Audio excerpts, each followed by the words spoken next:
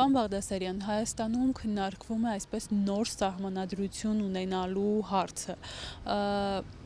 Այս պահանջը Բաքվից մեկ անգամ չէ որ հնչել է, բայց Հայաստանի իշխանությունը սա չի բացատրում Ադրբեջանի պահանջով, այլ ասում է սա մեր ներքին խոսակցությունն է եւ մեր ներքին անհրաժեշտությունն է։ Հիմա մայր օրենքը ինչքանով փոխվելու անհրաժեշտություն ունի եւ նաեւ անկախության հռչակագրին է այսպես անդրադարձ կատարվում։ Երբ ասում եմ որ դա մեր խնդիրն է, բայց միաժամանակ ասում է որ նոր սահմանադրություն մեզ պետք է, որ เป զի մենք ավելի մրցունակ լինենք տարածաշրջանային եւ աշխարհակաղակական առումով, չէ՞, ամեն որ այսինքն ամեն դեպքում կարևոր արտաքին քաղաքական բաղադրիչն է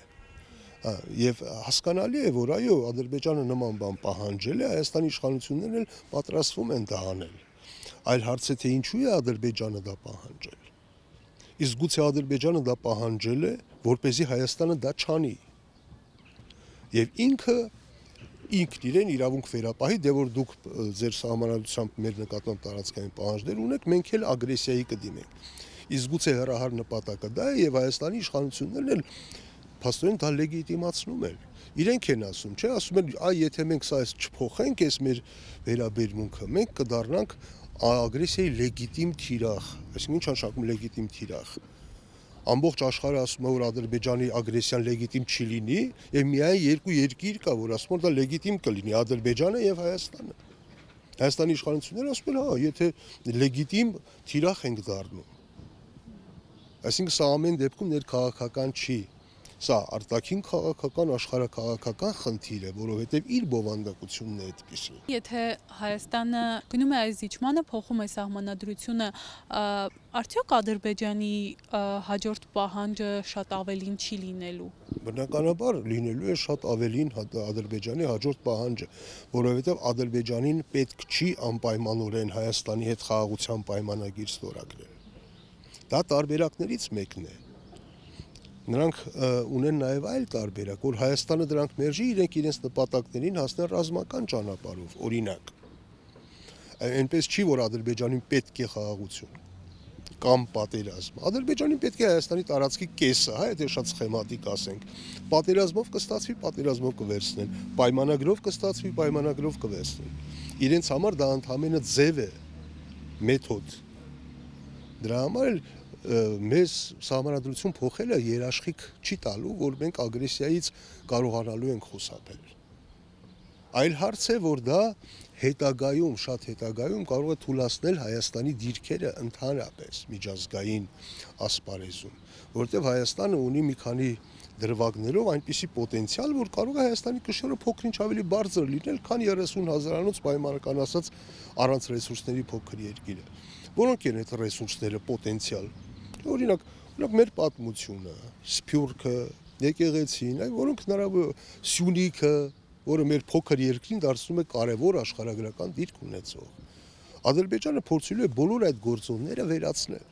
Դրա համար իրենք ուզում են Սյունիքը, իրենք ուզում են, որ մենք հրաժարվենք մեր պատմությունից, իրենք ուզում են հրաժարվենք Սփյուռքից, որովհետև ասում են, որ Սփյուռքահայերը այսSSS բաներն են։ Եկեղեցուց, որովհետև դա համազգային կառույց է, Հայաստանի իշխանությունները նաև այդ ուղղությամբ են աշխատում։ Այսինքն Ադրբեջանը ասում է դուք ինքներդ ձեզ թույլատրեք թե չէ կհարձակվենք Նիկոլ Փաշինյանն էլ ասում է այո մենք պիտի ինքներս մեզ թույլատրենք որպեսզի իրենք մեզանից ված չզգան եւ չգան մեզ գրավեն խոսույթը համապատասխանում է բայց բացատրությունն է տարբեր։ Հիմա դուք ասում եք ինքներս մեզ թույլատնենք, իրենք էլ ասում են, երբ որ մեր անկախության հռչակագրում հարևանների նկատմամբ տարածքային հավակնություններ կան, սա արդեն վտանգավոր է։ Օրինակ ասում են, ինչ է նշանակում պետք է վերականգնենք պատմական արդարությունը ու չպետք է սա դիտարկել միայն Ադրբեջանի, Թուրքիայի տեսանկյունից պատմական արդարությունը տեսակ Պուտինի ելույթի մի կես ժամը նվիրված էր պատմական արդարությանը, որ իրենք Ուկրաինային պատմական արդարություն են իրականացնում։ Երբ որ հզոր պետություններն են խոսում այդ մասին, դա հասկանալի է։ Նրանք կարող են ապահովել պատմական արդարության վերականգնումը։ Բայց դա չի նշանակում, որ փոքր պետությունները պիտի այդ մասին չխոսեն։ Օրինակ մենք հասկանալի է, որ մենք չենք կարող վերականգնել պատմական արդարություն։ Մենք այդպիսի ռեսուրս չունենք բայց դա չի նշանակում պիտի հրաժարվել դրանից մեկ առ միշտ ընդհանրապես։ Ինչու, որովհետև երբևէ մենք կարող ենք հզորանալ նախ, եւ երկրորդը պատմական արդարության վերականգնումը կարող է առիթ տալ, որպեսզի մեր դաշնակիցները մեզ օգնեն այդ պատրվակով, եթե նրանք հանուն իրենց շահերի այդ քայլին գնալու նպատակահարմար համարեն։ Օրինակ Ռուսաստանի օրինակը չբերեմ։ Ենթադրենք Իրանը ուզում է օգնել մեզ։ Ինչ պատրվակով պիտի օգնի։ Օրինակ, պատմական նրանք կասեն, որ մենք այս տարածաշրջանում մի քանի 100 տարի եղել ենք, մեր ենթակայության տակ է եղել, եւ այդ մի քանի 100 տարիների ընթացքում Արցախում ոչ միայն հայերեն ապրել, այլև ունեցել են ինքնավարություն։ Նրանք դա կասեն ոչ թե հանուն մեզ, որ ուզում են մեզ օգնել, այլ հանուն իրենց շահերի։ Դա կդառնա առիթ, որ ասեն, ուրեմն պատմական արդարությունը ենթադրում է, որ այնտեղ հայեր ապրեն։ Օրինակ եմ ասում։ Կամ Ռուսաստանը, չգիտեմ,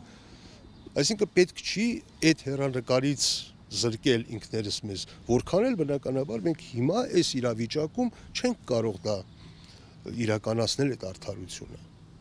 հասկանալի, այսինքն դա պետք չի դարձնել արտաքին քաղաքականության նպատակ, որտեղ ի վիճակի չենք,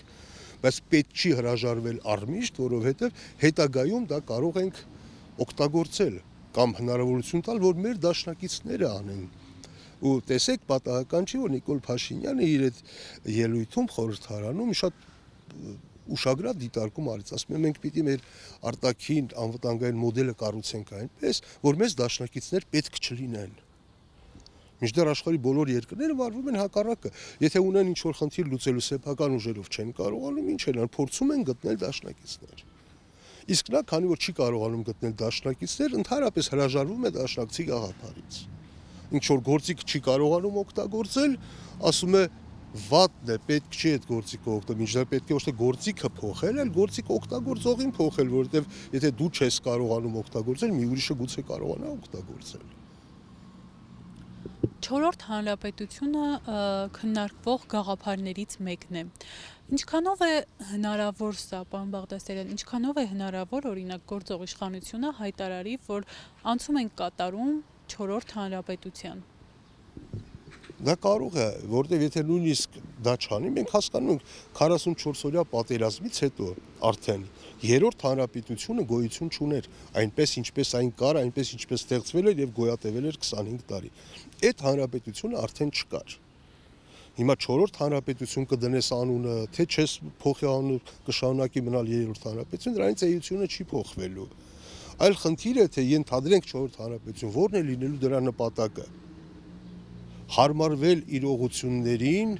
միջև վերջ տրվել, թուլանալ եւ հաճույք ստանալ, թե փորձել քեզ միջև վերջ պարտված չհամարել, ոչ թե ռևանշի հասնել, այլ գոնե կասեցնել կորուստների ընթացքը։